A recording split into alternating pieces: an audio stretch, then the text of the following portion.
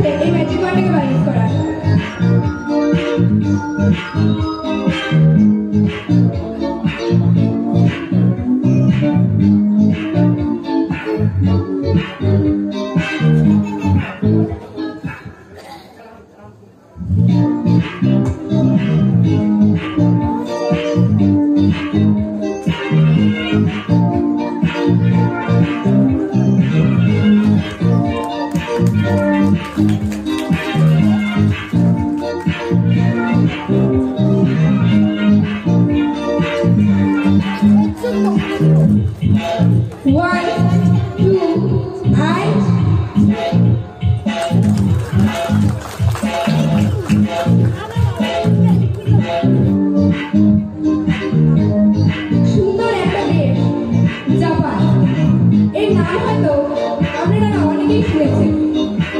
হয়তো আপনারা সত্যিই জানেন জাপানের মানুষরা ফুল এবং ফুলের বাগান ভীষণ পছন্দ করেন কিন্তু জাপানিজদের বাড়ির সামনে আমাদের মতো জায়গা না থাকায় তারা ফুলের বাগান তৈরি করতে পারে না।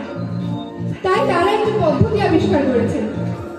তাদের ব্যাগের মধ্যে, তাদের পকেটের মধ্যে তারা একটি ফুলের বাগান ক্রিয়েট করেছেন। এই হচ্ছে সেই ফুলের বাগান। তাদের যখন ফুলের প্রয়োজন হয় বা ফুল দেখার ইচ্ছে হয় তারা এই ওয়ালেটটাকে একবার ভাঁজ করে, আর ভাঁজ করলে এখান থেকে ফুল চাইলে খুব খুব সুন্দর ফুল পেয়ে যায়।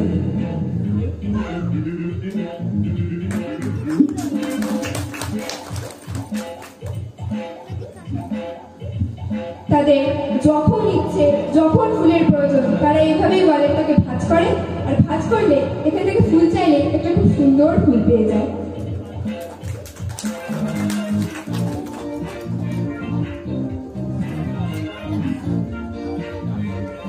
হচ্ছে জাপানিজদের ফুলের বাগান। তাদের যখন ইচ্ছে, যখন ফুলের প্রয়োজন, যাদের যখন ইচ্ছে ফুল দেখায় তারা ওয়ালেটটাকে একবার ভাঁজ করে। আর ভাঁজ করে ফুল চাইলে এখান থেকে খুব সুন্দর ফুল বেরিয়ে আসে।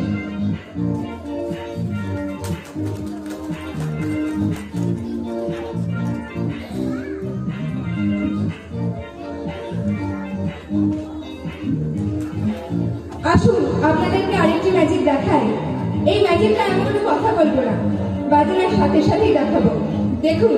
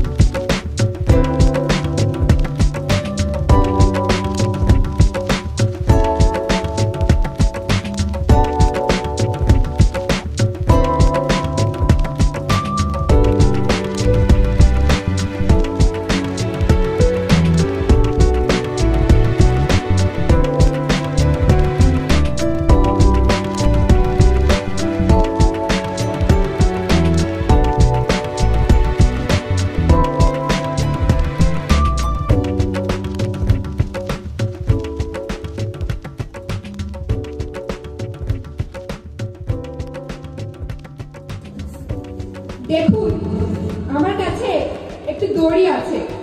এই দড়িটি আমি প্রতিদিন স্কুলে যাওয়ার সময় ব্যাগে করে নিয়ে যাই।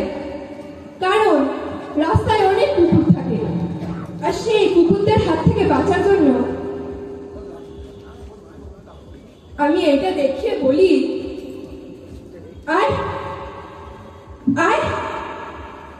তখন ওই কুকুরগুলো সব লেজ গুটিয়ে পালায়। আর জানেন রাস্তায় কত ধরনের কুকুর থাকে? তখন আমার এই দড়িটি খুব কাজে লাগে।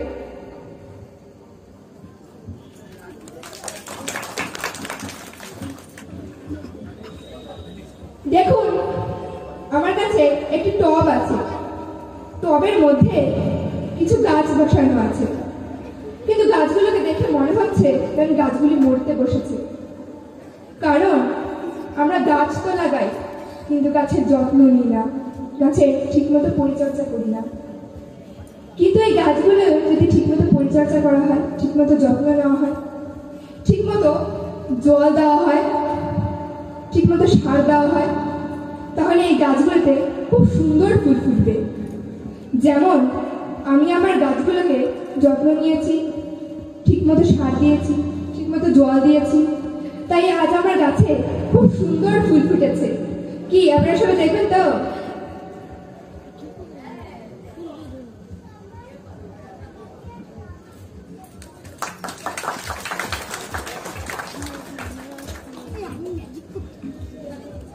সবাইকে অনেক ধন্যবাদ। আজ আমি আমার দাদুর সাথে এখানে আসতে পারে খুবই আনন্দিত। আপনারা সবাই আমাকে আশীর্বাদ করবেন। যাতে এইভাবে সকলকে আগাম দিতে পারি। নমস্কার।